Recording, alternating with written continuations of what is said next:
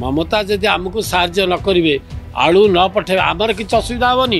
ଆମେ ତ ଆଳୁ ଯୋଉଠୁ ହେଲେ ଆଣିବୁ ମମତା ଦିଦି ସେ ରହିପାରିବେ କି?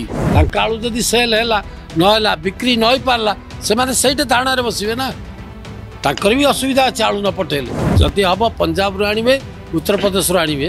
କିନ୍ତୁ ଏ ଯେଉଁ ଦାଦାଗିରି ଚଲେଇଛନ୍ତି ଏଇଟା ଭାରି ଖରାପ ଜିନିଷ ଆଜ୍ଞା। ପଞ୍ଚା ଆକେ କେମିତି ଏକାଉଣ୍ଟଟା ପାଇଲେ ଯଦି ଇଭେଣ୍ଟ ଟେମ୍ପରିଂ କରିଥିଲେ ତାଙ୍କେ ପାଞ୍ଚଟା କି ତିନିଟା ପାଇଥାନ୍ତେ। ଏକାଉଣ୍ଟଟା ପାଇବାର ଚାନ୍ସ ନଥିଲା। ଏବେ ଲୋକଙ୍କୁ ଡାକୁଛନ୍ତି ଲୋକଙ୍କ ପାଖକୁ ଯାଉଛନ୍ତି ଆସୁଛନ୍ତି କାହିଁ ଆଗରୁ ତ ଚବିଶ ବର୍ଷ ହେଲା ପଚାରୁନଥିଲେ ଆମ ଦଳର ବିଜେପି ଦଳର ଯାହା ନିୟମ ଆମର ପାର୍ଲାମେଣ୍ଟାରୀ ପାର୍ଟି ନିଷ୍ପତ୍ତି କରାଯାଏ। ପାର୍ଲାମେଣ୍ଟାରୀ ପାର୍ଟି ଯାହାକୁ ନିଷ୍ପତ୍ତି କରିବ ସେ ଆମର ଯିବେ। ଆମର ଦଳର ତ ସବୁ ଷ୍ଟଲ୍ ୱାର୍ଡସ୍ ଅଛନ୍ତି। କେହି କାହାକୁ କମ୍ ନୁହନ୍ତି। ଯାହାକୁ ଦଳ ନିଷ୍ପତ୍ତି କରିବ ସିଏ ଯିବ। ଏଥିପାଇଁ କିଛି ଚିନ୍ତା ନାହିଁ ଆମକୁ। ଯିଏ ବି ଯିବ ଦଳ ପାଇଁ କାମ କରିବ ଦେଶ ପାଇଁ କାମ କରିବ। କିଛି ଅସୁବିଧା ନାହିଁ। କରିପାରନ୍ତି। ସେ କଥା ଆମେ ପାର୍ଲାମେଣ୍ଟାରୀ ପାର୍ଟିକି ଛାଡ଼ିଲେ ଆମର ଏଇ କଥାକୁ କେହି ବି କିଛି କହିପାରିବେନି କେହି ନିଷ୍ପତ୍ତି ନେଇପାରିବେ ବିଜେଡି କଂଗ୍ରେସ କହୁଛନ୍ତି ଆମେ ଗଣତନ୍ତ୍ରକୁ ହତ୍ୟା କରିକି ଏଭଳି କରାଯାଏ ଆମେ ଗଣତନ୍ତ୍ରକୁ ହତ୍ୟା କଲୁ। ବିଜେଡି ଦଳ କ'ଣ ଜାଣନ୍ତି ପ୍ରଥମେ ଗଣତନ୍ତ୍ରଟା କ'ଣ? ସେ ଜାଣିବା ଦରକାର। ଏ ଯେଉଁ କହୁଛନ୍ତି ଗଣତନ୍ତ୍ରକୁ ହତ୍ୟା କରିଦେଲେ ଇଏ କରିଦେଲେ ଏବେ ଯେଉଁ ତାଙ୍କର ମାନ୍ୟବର ନେତା ଯିଏ ଥିଲେ ଏତେ ବର୍ଷ ଧରି ମୁଖ୍ୟମନ୍ତ୍ରୀ ନେତୃତ୍ୱ କରୁଥିଲେ ସବୁ ନେଡ଼ିଗୁଡ଼ କହୁଣିକି ବୋହି ସାରିଲା ପରେ ଏବେ ତାଙ୍କୁ ବୁଦ୍ଧି ଆସୁଛି। ଏବେ ଲୋକଙ୍କୁ ଡାକୁଛନ୍ତି ଲୋକଙ୍କ ପାଖକୁ ଯାଉଛନ୍ତି ଆସୁଛନ୍ତି। କାହିଁ ଆଗରୁ ତ ଚବିଶ ବର୍ଷ ହେଲା ପଚାରୁନଥିଲେ କେଉଁ ଏମ୍ ଏଲ୍ ଏକୁ ଚିହ୍ନୁ ନଥିଲେ କେଉଁ ମନ୍ତ୍ରୀକି ଚିହ୍ନୁ ନଥିଲେ କେଉଁ ସେକ୍ରେଟେରୀକି ଚିହ୍ନୁ ନଥିଲେ କେଉଁ ଲୋକ ତ ତାଙ୍କ ପାଖକୁ ଯାଇପାରୁନଥିଲା ଆଜି କାହିଁକି ଏ କୁମ୍ଭୀର କାନ୍ଦଳା କାନ୍ଦୁଛନ୍ତି? କେଉଁ ଗଣତନ୍ତ୍ର ତାଙ୍କ ପାଖରେ କେବେ ଥିଲା ଯେ ଆଜି ଅଛି? ହେଲେ ଏବେ ଆଜି ପର୍ଯ୍ୟନ୍ତ ଯେଉଁ ତାଙ୍କେ ପାଞ୍ଚ ଥର ଜିତିଥିଲେ କେତେ ଥର ଇଭିଏମ୍ ଗଣ୍ଡଗୋଳ କରିଛନ୍ତି ସେମାନେ? ଏ ଯେଉଁ ଚବିଶ ବର୍ଷ ଶାସନ କଲେ ଏତିକି ଭିତରେ ତ ସେମାନେ ଜିତିଥିଲେ ଏମାନେ କେତେ ଥର ଇଭିଏମ୍ ଗଣ୍ଡଗୋଳ କରିଥିଲେ? ସେ କଥା କହିସାରନ୍ତୁ। ତାପରେ ଅନ୍ୟ କିଏ କହିବ? ଯଦି ଲୋକ ଭୋଟ ଦେବେନି ଲୋକଙ୍କର ପ୍ରିୟ ପ୍ରାର୍ଥ ତୁମେ ହେଇପାରିବନି ଲୋକଙ୍କର କାମ କରିବନି ମୁଖ୍ୟମନ୍ତ୍ରୀ କିଏ ଲୋକେ ଜାଣିବେନି ତୁମେ ହେଲିକପ୍ଟର ମୁଖ୍ୟମନ୍ତ୍ରୀଙ୍କ ପ୍ରତିନିଧି କରି କାହାକୁ ଗୋଟାକୁ ପଠେଇବ ସିଏ ଲୋକଙ୍କୁ ଯାଇକରି ଭୁଆଁ ବୁଲେଇବ ସବୁକିଛି ଦୁର୍ନୀତି ଭ୍ରଷ୍ଟାଚାର ଚରମ ସୀମାକୁ ଯିବ ତାପରେ କହିବ ଯେ ଇଭିଏମ୍ ନେଇକିରି ବିଜେପି କରିଦେଲା। ପ୍ରଶ୍ନ ଉଠୁନି ସରକାର ତାଙ୍କର ଥିଲା ଆମର ନାହିଁ। ଅଫିସର ତାଙ୍କର ରାଜନୀତି କରୁଥିଲେ ଆମର ନାହିଁ।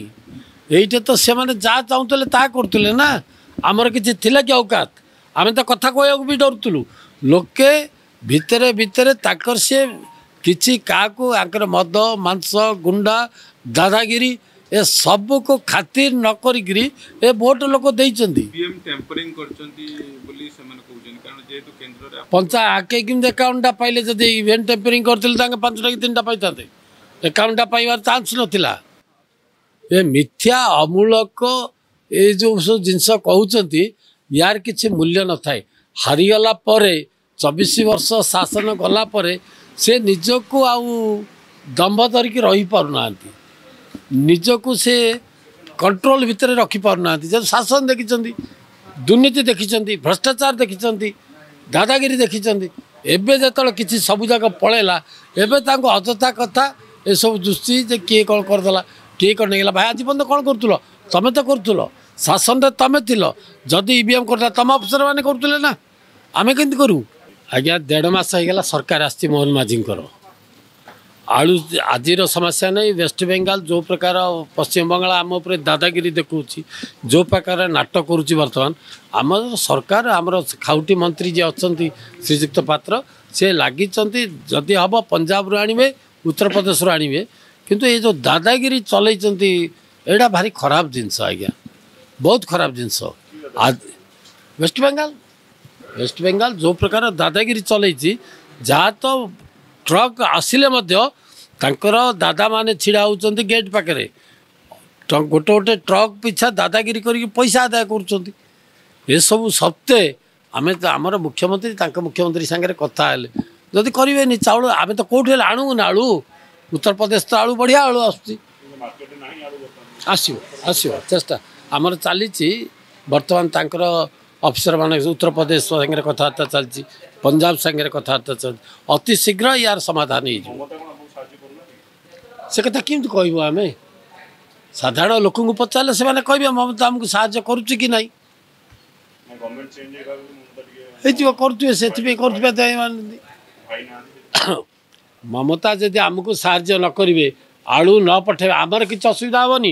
ଆମେ ତ ଆଳୁ ଯେଉଁଠୁ ହେଲେ ଆଣିବୁ ମମତା ଦିଦି ସେ ରହିପାରିବେ କି?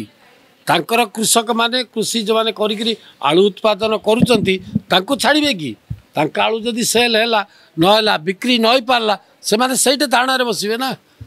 ତାଙ୍କର ବି ଅସୁବିଧା ଅଛି ଆଳୁ ନ ପଠାଇଲେ ଖାଲି ହଁ ଆମେ ବି ମାଛ ଫାଛ ସବୁ ଜିନିଷ ପଠାଉଛୁ ନା ୱେଷ୍ଟବେଙ୍ଗଲ ଦେଖାଯାଉ କ'ଣ ହେଉଛି ଭବିଷ୍ୟତ କହିବ। ନାଇଁ ସରକାର ସେ ଚିନ୍ତା କରୁଛନ୍ତି। ସେମିତି ପରିସ୍ଥିତି ଆସିନି ଏପର୍ଯ୍ୟନ୍ତ ଯଦି ସେମିତି କିଛି ପରିସ୍ଥିତି ଆସିବ ତାହେଲେ ସମସ୍ତେ ଚିନ୍ତା କରିବେ ସେ ବିଷୟରେ ମୋର ଧାରଣା ନାହିଁ ଆଜ୍ଞା। ମୋର ଧାରଣା ନାହିଁ ସେ ଉପରେ କହିପାରିବିନି।